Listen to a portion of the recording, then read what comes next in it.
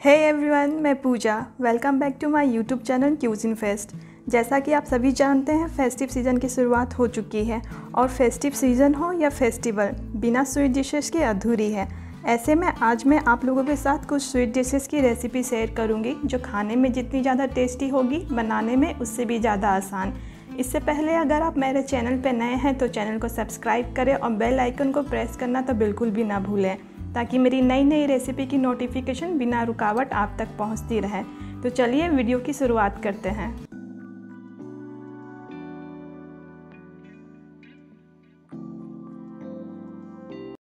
सबसे पहले हम बना रहे हैं ब्रेड मलाई रोल इसके लिए हम पहले रबड़ी तैयार करेंगे।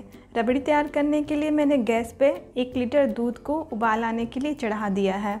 मीडियम फ्लेम पे पहले हम दूध में एक अच्छी सी उबाल आने देंगे। दूध में एक अच्छा सा उबाल आ चुका है। अब हम यहाँ गैस का फ्लेम लो कर देंगे और लो फ्लेम पे दूध को तब तक उबालेंगे जब तक कि यह घट के वन थर्ड ना हो जाए। इसके ऊपर जमने वाले मलाई को हम स्पिचुला के हेल्प से साइड्स में करते जाएँगे। दूध हमारी घट के वन थर्ड हो गई है। इसी स्टेज पे मैं इसमें ऐड कर रही हूँ कुछ केसर के धागे और साथ में इलायची पाउडर। आप बिना केसर के धागों के भी इसे बना सकते हैं। और इसे डाल के अच्छे से मिला लेंगे। इससे हमारी रबड़ी में कलर अच्छा आएगा। आप चाहे तो लेमन फ़ूड कलर भी यहाँ पे यूज़ कर सकते हैं। इसके साथ ही अब मैं यहाँ पे इसमें ऐड कर रही हूँ वन फोर्थ शुगर पाउडर और साथ में कुछ ड्राई फ्रूट्स, जिसमें पिस्ता और बादाम है और साथ में काजू। इन सभी चीज़ों को साथ में मिला के दो से तीन मिनट तक लो फ्लेम पे पकाएँगे, उसके बाद गैस को बंद कर देंगे। दो से तीन मिनट तक मैंने सारी चीज़ों को अच्छे से पका लिया है। अब मैं यहाँ गैस को बंद कर दे रही हूँ। अब रबड़ी को ठंडा होने के लिए रख देंगे साइड में, और जब ये ठंडी हो जाएगी तो एक बाउल में इसे निकाल के फ्रिज में रख देंगे, क्योंकि रबड़ी ठंडी ही अच्छी लगती है। अगर आपको रबड़ी ठंडी नहीं पसंद है तो आप इसे बाहर ही एक बर्तन में निकाल के रहने दें। अब हम ब्रेड मलाई रोल के लिए इसकी फिलिंग रेडी करेंगे। इसके लिए मैंने यहाँ पे वन थर्ड कप मिल्क लिया है और साथ में एक कप मिल्क पाउडर लिया है। इन दोनों चीज़ों को आपस में अच्छे से मिलाएँगे। इसमें एक भी लम्ब नहीं रहने चाहिए।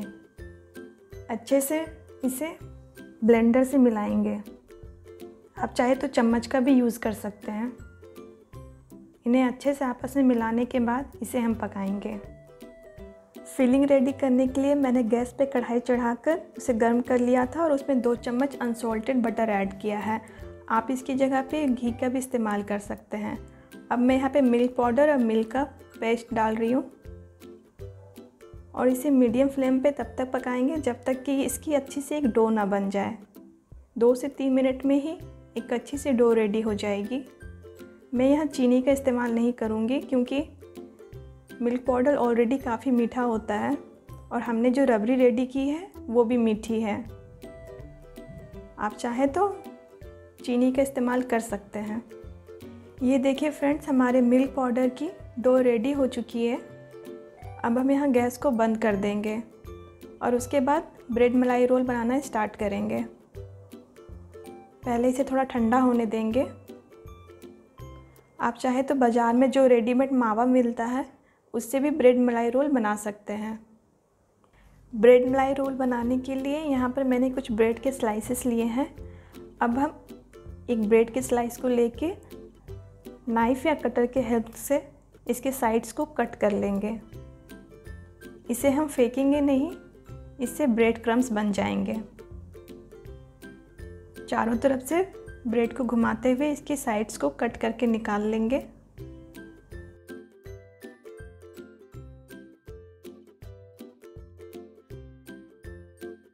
मिल्क पाउडर की मावा या डो जो हमने रेडी की थी, वो ठंडी हो चुकी है और यहाँ पर मैंने फ्रिज से रबड़ी भी बाहर निकाल ली है। अब मैं मिल्क पाउडर के डो से एक डो कट करके उसे सिलेंडर साइज़ का सेप दूँगी।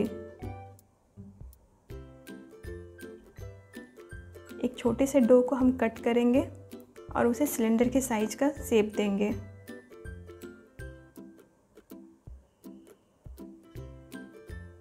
और सेप देने के बाद इसे एक प्लेट में रख लेंगे। अब हम ब्रेड के एक स्लाइस को लेंगे, जिसके किनारों को हमने कट कर लिया था और बेलन के हेल्प से इसे पतला बेल लेंगे। दोनों ओर से घुमाते हुए ब्रेड को पतला ज़रा बेल लेंगे, उसके बाद इसमें फीलिंग को ऐड करेंगे।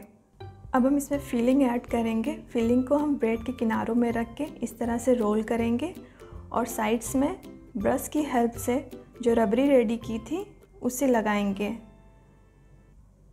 दोनों ओर इसे लगा लेंगे और उसके बाद रोल को फिर से घुमा देंगे। इससे रोल आसानी से आपस में चिपक जाएँगे और इसी तरह से अपने बाकी के ब्रेड रोल को रेडी करेंगे। मैंने यहाँ पे चार ब्रेड मलाई रोल रेडी किया है। अब मैं इसके ऊपर रबड़ी ऐड कर रही हूँ। रबड़ी को चारों ओर ब्रेड के ऊपर डालेंगे। अच्छे से इसे फैलाते हुए चारों ओर से रबड़ी को ब्रेड के ऊपर ऐड करेंगे।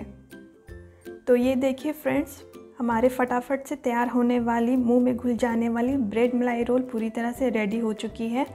एंड में मैंने इसकी गार्निशिंग थोड़े से ड्राई फ्रूट से किए हैं।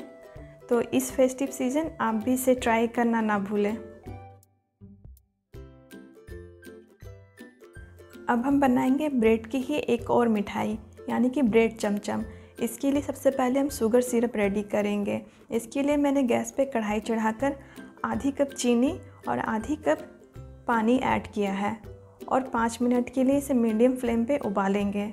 हमें यहाँ कोई तार वाली चाशनी रेडी नहीं करनी है, बल्कि चाशनी में एक थिकनेस आ जाए, इस तरह की चाशनी हमें यहाँ पे रेडी करनी है। चीनी अच्छे से यहाँ पे मेल्ट हो चुकी है। अब मैं यहाँ पे ऐड कर रही हूँ एक चम्मच गुलाब जल। इससे शुगर सिरप में फ्लेवर काफ़ी अच्छा आएगा। और साथ में ऐड कर रही हूँ आधे नींबू का रस। इन दोनों चीज़ों को डालने के बाद सिरप में अच्छे से मिला लेंगे। इसके साथ ही मैंने ऐड किया यहाँ पे केसर के कुछ धागे और हरी इलायची को मैंने कुछ दरदरा कूट लिया था वो। इन्हें भी आपस में अच्छे से मिला लेंगे। और एंड में मैं यहाँ पे ऐड कर रही हूँ लेमन फ़ूड कलर आप चाहें तो बिना फ़ूड कलर का भी इसे बना सकते हैं। फ़ूड कलर्स यूज़ करने से हमारे चमचम का कलर काफ़ी अच्छा आएगा। ये दिखने में काफ़ी अच्छी लगेगी। ब्रेड की चमचम मिठाई बनाने के लिए ब्रेड की एक स्लाइस लेंगे और एक ढक्कन की हेल्प से इसे गोल गोल कट कर लेंगे। कट करने के बाद इसके साइड्स को हम अलग कर लेंगे। एक ब्रेड की स्लाइस से जितने भी आपके कट निकलते हैं, उसे निकाल लीजिएगा। ये हमारी तैयार की हुई शुगर सिरप और साथ में ये डेसिकेटेड कोकोनट इससे हम ब्रेड की चमचम की कोटिंग करेंगे। यहाँ पे मैंने ब्रेड की स्लाइस लिया जिसे हमने कट किया था। और इसके ऊपर इस स्टफिंग को रखा है। फिर से ऊपर से एक और ब्रेड की स्लाइस को रखेंगे और इसे शुगर सिरप में डिप करेंगे। दोनों ओर से घुमाते हुए अच्छे से डिप कर लेंगे। उसके बाद इसे सूखे नारियल की बुरादे से इसकी कोटिंग करेंगे। दोनों ओर से इसकी अच्छी सी कोटिंग कर लेंगे।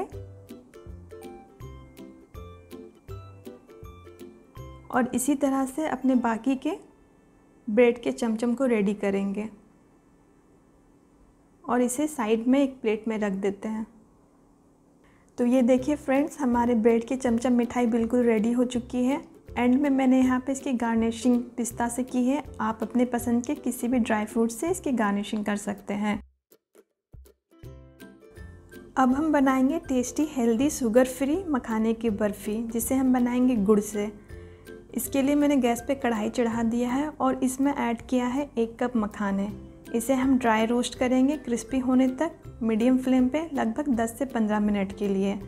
आप चाहें तो यहाँ पे घी का भी इस्तेमाल कर सकते हैं। एक चम्मच घी में मखाने को रोस्ट कर सकते हैं। मखाने हमारे यहाँ पे अच्छे से रोस्ट हो चुके हैं और क्रिस्प हो चुके हैं। अब हम इसे एक बर्तन में निकाल लेंगे और ठंडा होने के बाद ग्राइंडर में डालकर इसका एक पाउडर रेडी कर लेंगे। जिस कढ़ाई में मैंने मखानों को रोस्ट किया था, उसी कढ़ाई में मैं आधे कप मूंगफली डाल के उसे भी रोस्ट करूँगी। जब तक ये क्रिस्पी ना हो जाए क्रिस्पी होने तक इसे रोस्ट करेंगे। बीच बीच में इसे हम चलाते रहेंगे। मूंगफली भी यहाँ पे अच्छे से रोस्ट हो चुकी है। अब हम इसे एक बर्तन में निकाल लेंगे और ठंडा होने के बाद इसके छिलकों को छील के इसे ग्राइंडर में डाल के इसका एक पाउडर तैयार करेंगे। और अब मैं इसी कढ़ाई में लगभग दो चम्मच मस्क मेलन सीड यानी खरबूजे के बीज को ऐड कर रही हूँ और उसे भी ड्राई रोस्ट करूँगी। बस कुछ सेकंड्स के लिए मैं इसे ड्राई रोस्ट कर लूँगी। अब हम तैयार करेंगे गुड़ की चाशनी। इसके लिए मैंने यहाँ पे वन थर्ड कप गुड़ लिया है, जिसे मैंने टुकड़ों में तोड़ लिया था। आप चाहे तो यहाँ पे गुड़ के पाउडर का भी इस्तेमाल कर सकते हैं, और साथ ही मैं ऐड किया है एक चम्मच पानी। गैस का फ्लेम हम यहाँ पे लो रखेंगे, और लो फ्लेम पे गुड़ की चाशनी को रेडी करेंगे। हमें यहाँ कोई तार वाली चाशनी नहीं रेडी करनी है, बस गुड़ हमारा यहाँ पे अच्छे से मेल्ट हो जाए। बस ऐसी ही चाशनी हमें यहाँ पे रेडी करनी है। चाशनी हमारी यहाँ पे रेडी हो चुकी है। अब मैं इसमें ऐड कर रही हूँ मूंगफली और मखाना का पाउडर जो हमने रेडी किया था। और इसके साथ ही मैं इसमें डाल रही हूँ आधा कप डेसिकेटेड कोकोनट यानी सूखे नारियल का बुरादा।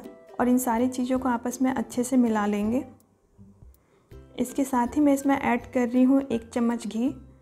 इससे हमारे मिठाई में टेस्ट काफ़ी अच्छा आएगा। और इसके साथ ही मैं ऐड कर रही हूँ दो चम्मच दूध। इससे हमारी मिठाई में बाइंडिंग अच्छी आएगी। सारी चीज़ों को डालने के बाद फटाफट से हाथों को चलाएँगे और आपस में सारी चीज़ों को अच्छे से मिला लेंगे। मिलाने के बाद हम यहाँ गैस को बंद कर देंगे। ये देखिए फ्रेंड्स, सारी चीज़ों को हमने अच्छे से मिला लिया है और अब यहाँ पे हम गैस को बंद कर देंगे। मखाने की बर्फ़ी बनाने के लिए एक ट्रे पे मैंने बटर पेपर रख लिया है और उसे घी से ग्रीस कर लिया है। अब इस पर हम अपने मखाने की स्टफिंग को रखेंगे और स्पैचुला के हेल्प से चारों ओर इसे फैला लेंगे। आप इसकी जगह पे प्लेट का भी इस्तेमाल कर सकते हैं, प्लेट को घी से ग्रीस करके। मखाने की स्टफिंग को आप रख सकते हैं। इस तरह से चारों ओर फैला लेंगे। मैंने चारों ओर इसे फैला लिया है और अब इसके ऊपर गार्निशिंग कर रही हूँ खरबूजे के बीज से। आप चाहे तो ड्राई फ्रूट भी इस्तेमाल कर सकते हैं। और ऊपर से स्पेचुला की ही हेल्प से इसे दबा देंगे अच्छे से। और दो से तीन सेकंड्स के लिए इसे सेट होने के लिए छोड़ देंगे। मखानों को कुछ सेकंड्स के लिए मैंने सेट होने के लिए छोड़ दिया था। उसके बाद उसे एक प्लेट में निकाल लिया। प्लेट में निकालने के बाद नाइफ़ के हेल्प से इसके साइड के एजेस को कट कर लेंगे। साइड के एजेस को कट करने के बाद उसे बर्फ़ी का सेप देंगे। आप यहाँ पे कटर का भी इस्तेमाल कर सकते हैं। ज़्यादा ठंडी हो जाने पे ये ठीक से कटेगी नहीं। ये इसलिए जब ये हल्की गर्म हो, तभी इसे बर्फ़ी का सेप देंगे। बर्फ़ी का सेप आप अपने हिसाब से बड़ी छोटी रख सकते हैं। तो ये देखिए फ्रेंड्स हमारी tasty healthy sugar free makhana barfi ready है। ये खासकर हेल्थ कॉन्शियस लोगों के लिए है। तो आप भी इस फेस्टिव सीज़न इस बर्फ़ी को ट्राई करें। तो ये देखिए फ्रेंड्स हमारे tasty easy homemade sweet dishes ready है। हेल्दी मखाना बर्फ़ी, लाजवाब चमचम और मुँह में घुल जाने वाली मलाई रोल। तो आप किसका वेट कर रहे हैं? इस फेस्टिव सीज़न आप भी इसे ट्राई करें और अपने फैमिली और फ्रेंड को सरप्राइज़ दें। साथ ही साथ अपने फीडबैक को भी मेरे साथ शेयर करें। वीडियो अच्छी लगी हो तो लाइक करें शेयर करें और चैनल को सब्सक्राइब करें। मिलते हैं अब नेक्स्ट वीडियो में। Till then take care bye